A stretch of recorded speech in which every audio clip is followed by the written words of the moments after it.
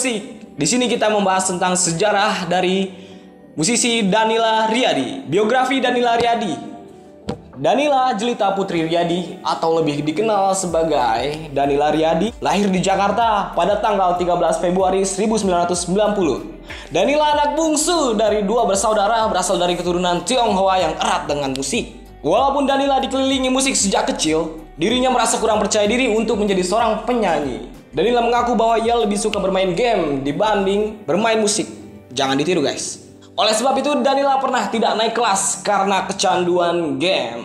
Pada saat 17 tahun, ia pernah ditawari kesempatan untuk membuat album solo oleh Richard Buntario. Rencananya Danila akan membuat album musik pop dengan membawakan lagu viral asal Filipina. Sayangnya rencana itu kandas karena Danila merasa tidak sesuai dengan keinginannya. Danila mulai terjun sebagai musisi pada tahun 2010 dengan mendirikan grup band Orca, ia sering membawakan lagu dari band Inggris seperti Kiana dan Radiohead. Di samping kesibukannya bermusik, Danila sempat kuliahnya terbengkalai di Universitas Persada Indonesia dengan jurusan Broadcasting.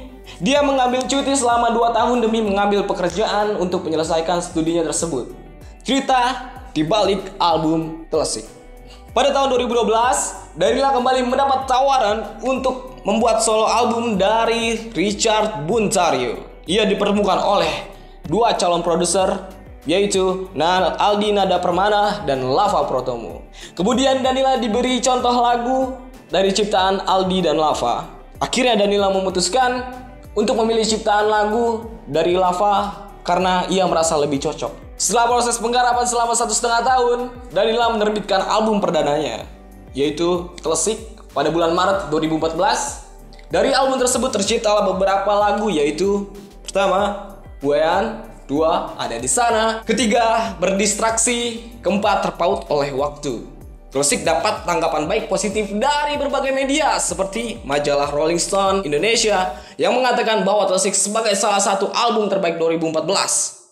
Terbentuknya Darah Muda dan album Lintas Waktu. Terlepas dari album pertama, Danila pun kembali menggarap album keduanya di tahun 2015. Berbeda dengan album pertamanya, yang sebagian besar albumnya ciptaan Lava.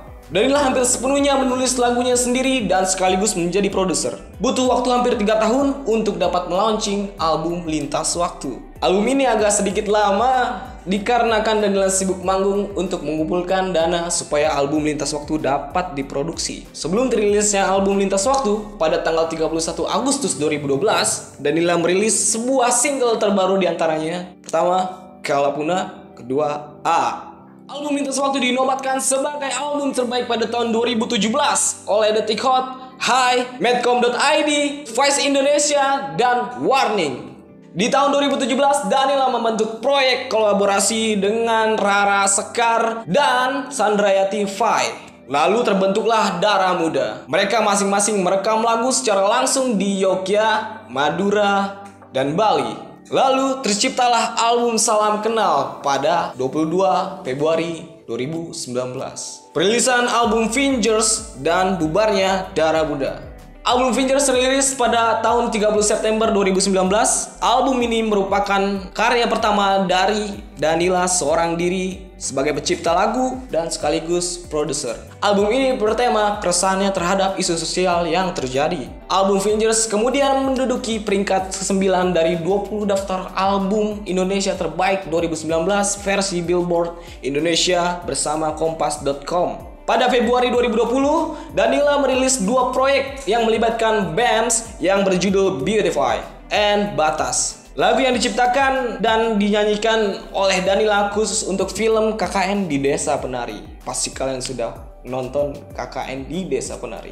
Pasti seru banget. Danila kembali kolaborasi dengan Darah Muda melalui album ini Pertigaan yang diterbitkan pada 2 April 2020. Sayangnya, seminggu kemudian Darah Muda pun bubar dan merilis lagu yang berjudul Selamat Tinggal. Selepas bubarnya Darah Muda, Danila kembali harus merilis single yang berjudul Fever Coaster. Secara langsung selama satu bulan di aplikasi Reso pada 2 September 2020. Lahirnya album Peluh, Gairah, dan Kelana serta lagu pop Seblay. Maret 2021, Danila kembali mendapat tawaran untuk kembali tampil di festival dalam jaringan bernama I Don't Give Fest. Saat itu Danila sedang menyiapkan album solonya yang ketiga, memutuskan untuk mengemas penampilan festival tersebut dengan musik disco ala 80-an. 8 lagu dari perjalanan karir Danila sejauh ini dengan aransemen baru oleh Lava Protomo dan Ota Tarega. Lalu Danila dan band pengiringnya yang diberi nama The Glamours membuat video membawakan lagu-lagu tersebut dengan bernuansa ala 80-an yang disiarkan oleh I Don't Give Fest pada 10 April 2021. Karena puas dengan hasilnya, pada 10 Mei 2021, lagu-lagu dengan aransemen baru tersebut dirilis sebagai album Peluh, Gairah, dan Kelana di bawah nama Danila dan The Glamours. Walau masih ada keinginan untuk melanjutkan proyek ini, menurut Danila, musik di album solo ketiganya tidak akan seperti Peluh, Gairah, dan Kelana. Pada 11 Juni, Danila merilis Don't Touch Me, sebuah lagu kolaborasi bersama Marian Jola dan Ramen Go menyuarakan kesetaraan dan perjuangan perempuan. Danila mengawali pada tahun 2022 dengan merilis video musik MPV yang sekaligus menjadi lagu pertama yang didengarkan dari album solo ketiganya yang berjudul Pop Supply. Karir film Danila tidak hanya berkecimpung di dunia musik saja, Danila juga pernah berkecimpung di dunia perfilman. Tahun 2019, Danila mulai berencoba dunia acting dengan tampil di dua film layar lebar. Yang pertama adalah Cowboy Campus Film yang terinspirasi masa kuliahnya sutradara dan penulis skenario-nya yaitu PD Baik. Danila ditawarkan untuk bermain di film tersebut datang langsung dari PD sendiri. Dan Danila menerima tawaran tersebut karena dunia perfilman masih masuk dari ranah seni seperti halnya musik.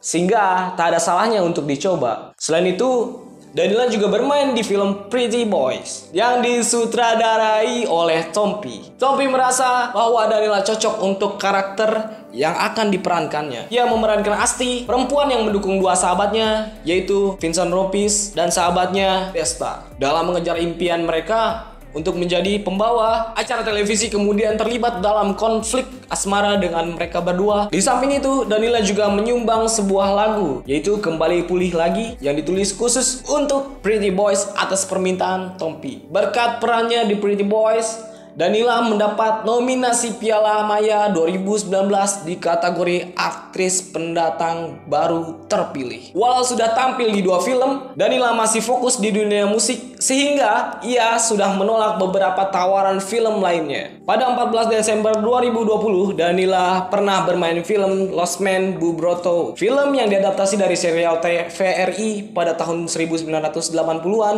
berjudul Lost Man. Selain memerankan tokoh Kirana, ia juga pernah pernah berduet dengan Maudi Ayunda. Dan kedua lagu ini terdapat di album ini jalur suara filmnya yang dirilis pada 18 November 2021 bertepatan dengan mulai tayangnya film di bioskop. Award dan penghargaan Anugerah Musik Indonesia Tahun 2010 nominasi artis jazz terbaik dengan lagu Singgah di Hati bersama Dian Permana Putra Di tahun 2015 nominasi karya produksi alternatif terbaik dengan lagu Ada di Sana Di tahun 2020 nominasi artis solo pria atau wanita alternatif terbaik dengan lagu Batas OST KKN di Desa Penari. Di tahun 2021 dengan nominasi duo grup grup vokal kolaborasi alternatif terbaik. Di tahun 2021 menang karya produksi kolaborasi terbaik dan duo grup grup vokal kolaborasi urban terbaik dengan lagu Don't Touch Me bersama Marion Jola dan Ramen Gold. Tahun 2022 menang dengan kategori artis solo pria wanita alternatif terbaik dengan judul Q. Indonesia Choice Award. Tahun 2018 nominasi Female Singer of the Year and Female Singer of the Year, Female Singer of the Year, Piala Maya. Pada tahun 2020 dengan nominasi aktris pendatang baru terpilih dengan film Pretty Boys. Mungkin itulah sejarah singkat dari Danila. Jika kamu suka dengan video ini, jangan lupa like, comment, dan subscribe tentunya. Bye-bye.